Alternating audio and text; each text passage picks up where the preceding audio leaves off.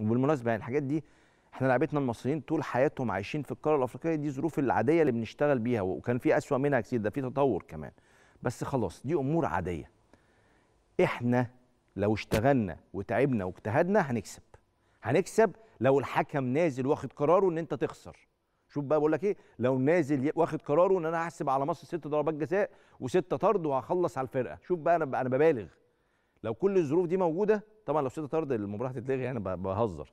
بس يعني لو هو ناوي يعمل كل ده انت برضه لو اشتغلت وتعبت واجتهدت هنكسب بإذن الله. وأنا إن شاء الله إن شاء الله إن شاء الله يا رب. بدون مقاطعة متفائل تفاؤل مش طبيعي. أنا ما تفائلتش بمواجهة الكاميرون زي ما ت- يعني عفوا ما تفائلتش بمواجهة المغرب وكوت ديفوار زي ما تفائلت بمواجهة الكاميرون.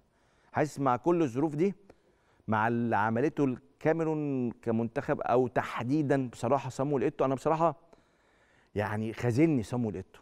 خازلني إحنا لاعب ده كنا بنحبه كلنا كلاعب في أرض الملعب. كنا فخورين بيه وإن هو يعني واحد من أفضل اللعيبة الأفارقة اللي جم في التاريخ في تاريخ الكرة العالمية كمان سواء بقى مع برشلونة أو مع إنتر أو مع أي فريق لاعب ليه صامويل إيتو. كان دايما لاعب عظيم ولاعب رائع ومهذب و... و...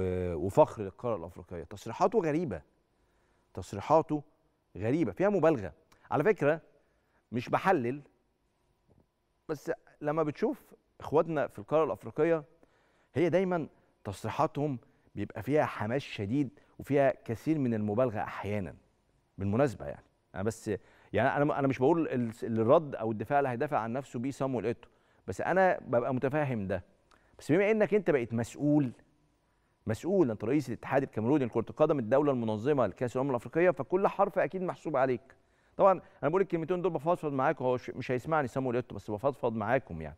يعني هو بما إنه مسؤول فكل حرف هيبقى محسوب عليه ويعمل قلق. الجملة الشهيرة اللي حضراتكم سمعتوها كلكم إن المباراة آه، هي بالنسبة بيقول لعيبة الكاميرون بالنسبة لنا مباراة حرب والمباراة ديت آه، لازم نكسبها. هي بالنسبة لنا حرب. هي مش حرب ولا حاجة. وكارلوس كيروش رد عليه على فكرة النهارده وقال له إن إحنا بنلعب كورة للمتعة يعني مش حرب. للمتعة والفرحة والسعادة مش للحرب. وده شيء محترم من كيروش. على فكرة تصريحات كيروش النهارده رغم إن فيها انتقاد وهجوم مباشر على صامويل إيتو ولكن تصريحات ذكية ومسؤولة جدا. هو ده الفرق بين المسؤول واللي مش مسؤول. المسؤول يقول تصريحات مسؤولة حتى لو غاضب ومتنرفز ومتعصب والظروف مضايقاه بس تقول تصريحات مسؤولة. محدش يمسك عليك غلطة. محدش يمسك عليك غلطة. عجبني جدا تصريحات كارلوس كيروش النهارده تصريحات في غاية الاحترام. طيب.